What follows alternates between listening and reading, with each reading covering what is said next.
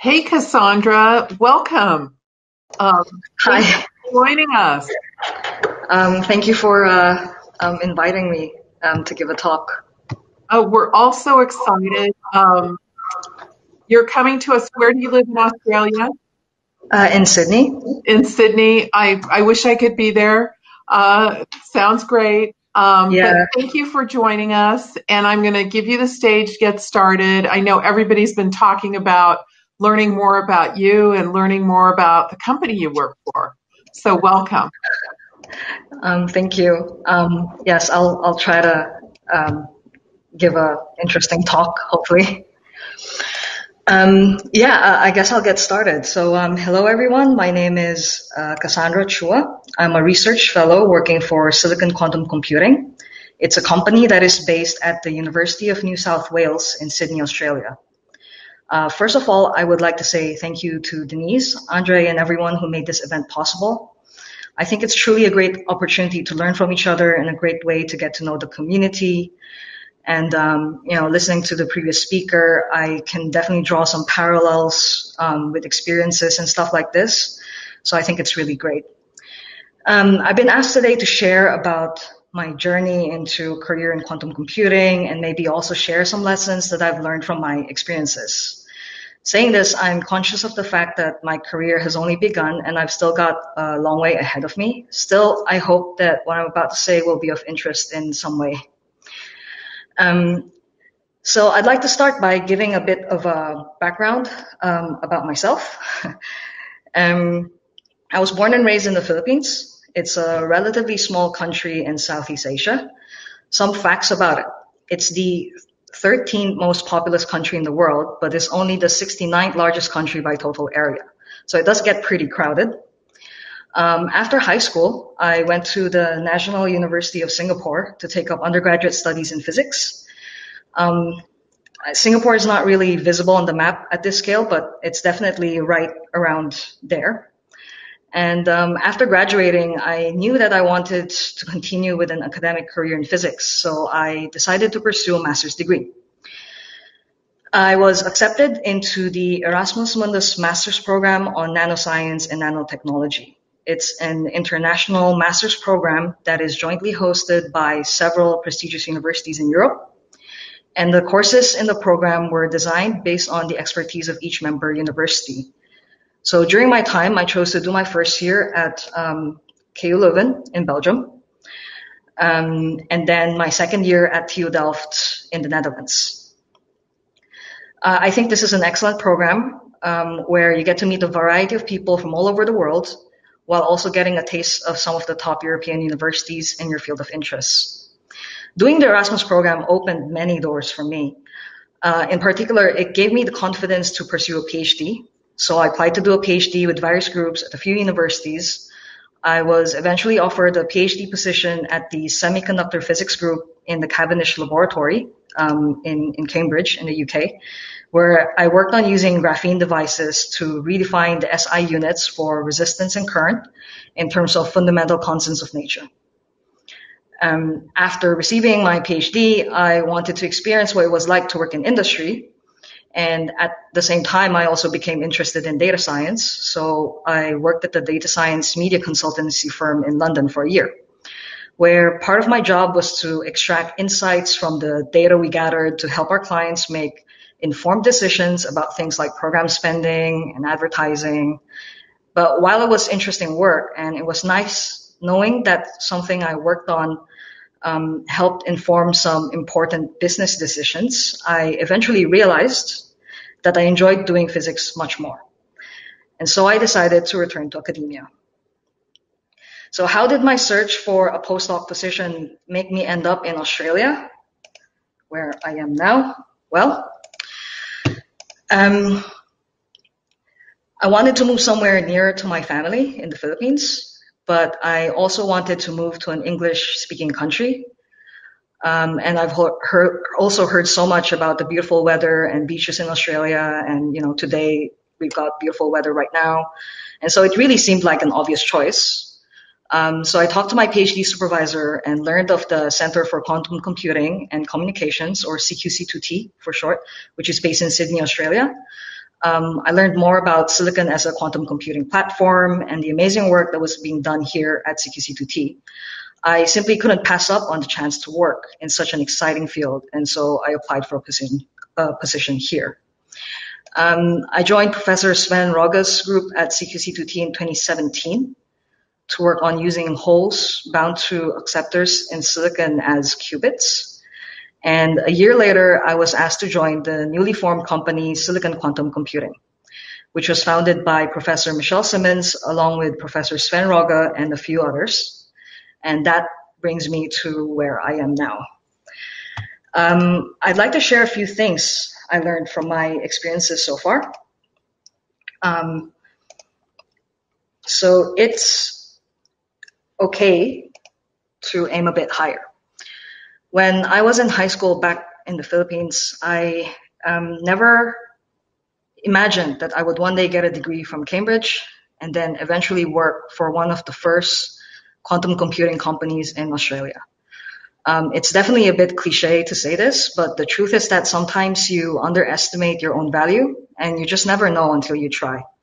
I did have to take things step by step. Um, each experience I had allowed me to aim for the next step. Um, this one's a bit of a funny one. Um, it's okay to do a PhD. Um, it's of course a no-brainer if you are 100% sure you want an academic career. Um, but there's always the doubt of whether you can get a job um, when I gave a brief run through of my background just now, I glossed over how hard it was for me to decide on doing a PhD.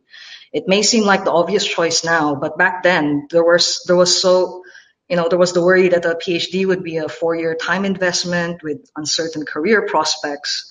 In fact, almost everyone around me thought of it that way. What would you do after a PhD in physics? When will you get married? What is a postdoctoral position? Do you even get paid to do that? You know, of course, finishing a PhD is itself a challenge, and I won't elaborate on any details. But um, when I eventually got my degree, I realized that a lot of these questions stem from outdated preconceptions. First of all, you don't have to work on what you did during your PhD for the rest of your career. There are many transferable skills you can acquire during that time. And I believe some employers in, in industry have also realized that at the very least, doing a PhD um, teaches a way of thinking and problem solving that is difficult to acquire in other ways. Um, moreover, despite all the difficulties and late nights, I met some of my best friends while being a student in Cambridge. While poor work-life balance and burning out as a PhD student are not uncommon, I also had some of my best experiences during that time. I have just one piece of, of advice for anyone unsure about doing a PhD degree. Make sure to read all the terms and conditions before you say yes. What do I mean by that? Well, before joining a group, try to visit and get a lab tour of a, of a few different places, speak to the students at each group, and also check the group's publication records. Um, and next, it's, it's okay to be a bit more confident and assertive. Um, I used to avoid voicing my opinions because I was afraid of being wrong and leaving a bad impression. But what I've learned over the past few years is that being proven wrong is often a good way to learn something new.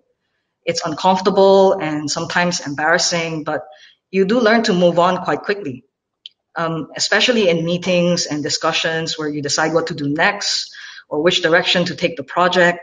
It's much better for the group as a whole to make a decision after debating everyone's ideas, the good and the bad.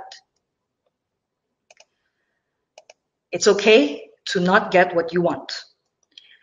So um, I have a I have a confession to make. In the beginning, I wanted to do a PhD in sustainable energy, in particular working on solar cells. Um, suffice to say that I didn't get in any of those programs, and instead I got into the semiconductor physics group in Cambridge, which is which is good. Um, in retrospect, that was probably one of the best things to happen to me that I didn't initially want, and because of this failure, I was able to branch off into quantum computing and am able to do the work that I'm doing now. I, I don't know that what I have now is definitely better than what could have been, but things do have a way of working out. um, it's okay to do a few different things. Uh, when I decided to take a job in industry to work on data science, I had, of course, fully intended to continue on that career path if, if it was suitable for me. The fact that I started to miss doing physics a year later and decided to return to academia was not at all part of the plan, but I do think that what I did in that year helps me now in my current work, especially the programming skills that I acquired scraping data for analysis, I also developed more soft skills from interacting and presenting our data analysis to clients. So I, I, think it's okay to try a few different things because oftentimes you can find some overlap. And this goes back to the transferable skills I was talking about previously with doing a PhD. More importantly, I also learned more about myself and what I really want to do. So there's a there's a common message here. Um, not every move or decision is final there's always some flexibility or possibility to change direction later, but it is important to fully commit to the present so that you don't regret anything later.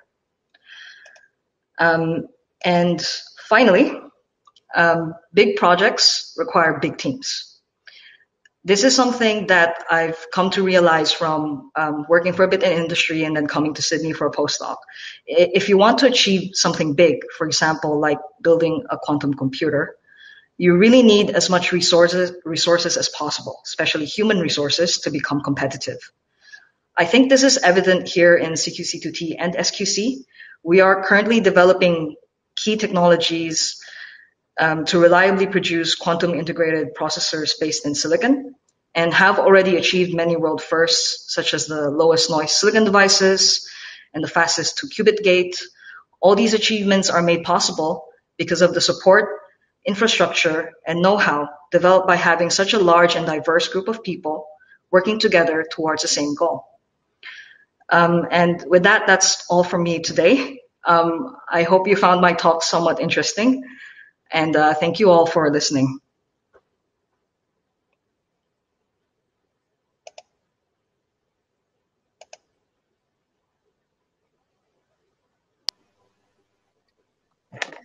Cassandra, that was so wise. Thank you so much. Thank you. I, you know, I, I love so many of the points that you made. Um, I wanted to ask you, and I mean, this is coming from Dan- Danica, who always has the best questions in the world. Um, what kind of questions do you recommend um, that PhD students ask when they're picking a program? You were saying visit a couple labs, visit a couple professors. And I mean, that could apply to a postdoc, that could apply to even job hunting. What are the questions that are most important to you? Um, so I think some of the questions that you could ask definitely is, you know, I mean, it's some of them are a bit cliche and maybe a bit obvious, like you know, what's the day to day like? Um, I think it's very important to actually speak to the students who are um, working there. Um, and ask them how how they feel about their project and and how they're getting along um, from a day to day and also how do they feel that they're fitting in and working in that lab um, and and their experiences or feeling about working with other people in the same lab. Because um, I do think that the dynamic in the group is is actually very important. Um, sometimes as important as the infrastructure that you see um, that you will see if you do a lab tour you'll see the equipment that they have um, which is great but um, it's, it's really also the people Yeah. And um, what's it like working at Silicon Quantum? I think Michelle Simmons is my rock star. Um, it's it's it's it's really amazing. Um, they, I mean, she she managed to um, you know scrape this thing together, and um, you know with support from from well, okay. I mean, it's it's really like a a, a huge combined effort from from um, like a lot of the big players here in Australia. Um, we've got sponsors like, I mean, the government is sponsoring us and a lot of the biggest businesses in, in, in Australia as well. So, um, it's truly an uh, amazing experience. Um, it's, I really feel like we've got a fast track to, to getting a quantum computer working. Um, of course, silicon is a little um, behind schedule, uh, like a little behind compared to say superconducting qubits and, and trapped ions and stuff like that. But um, yeah, I mean, we, we really made it possible to, to fast track things and, and concentrate resources to re- really get things done um, in, in this field. That's great. How can I ask how big you, how big the company is? Uh, I I actually don't know the exact number. Um, yeah, I, I, think you'll you probably have to get in touch with our um, COO. That's okay. That's okay. Sorry about that. I, I, do know your COO, but that's okay. Just okay. Uh, trying to create a little bit of a picture. Um, one of the questions is Did your experiences in different industries help you to quickly adapt because and pick up new skills? Do you feel that like adaptability is something that you've kind of, it sounds like you excel at a little bit in making changes and trying new things? Um, I, I, definitely think that that's something I've learned to do. Um, I don't know that I started off um, good at adapting, but it it definitely my experiences definitely forced me to to learn to adapt quickly and and I would like to think that I am good at it now. Um, yeah, so uh, um, I guess yes, I, I I think so, and I, I hope so. So I, I I liked also your comment that to you know sometimes it's okay to be wrong, and uh, I I really like that, and uh, can you talk a little bit more about that? Because I think all of us want to be right all the time, and we're not. Um, and so I love that you kind of said, you know, sometimes you're wrong. Can can you just talk a little bit about that? Uh, yes, um, definitely. Uh, this this is definitely a lesson that I learned um, a little bit later um, it, because it is such a hard lesson. And and even if I know this um, in my mind logically, sometimes you just you just can't stop yourself as well to to you know um, not want to be wrong. So it's really an active kind of um, it's a conscious decision every time for me to to try to say things even if I know it, it might be wrong and I'm still working on it. Um, and um, yeah, I I think it's it's going to always be a work in progress um, to to not always want to be right. Um, I think that's all I can say uh, about that. Um, yeah. Well, I love that comment. I love that thought because I think sometimes it's good to try and fail, right? Um, yes. And so I just loved your acceptance and kind of your verbalization of it. So I wanted to just say thank you from all of us. We've gotten such great comments. The console is lit up. Uh, very much appreciate your time. Very much appreciate the thought that you put into this talk. And uh, we look forward to watching you and seeing your success as you continue. Um, so thank you very much. Thank you. Thank, Thank you. you. All right. All right, everyone, to hit the red button in the left hand corner of your screen for the next talk. Thank you again, Cassandra.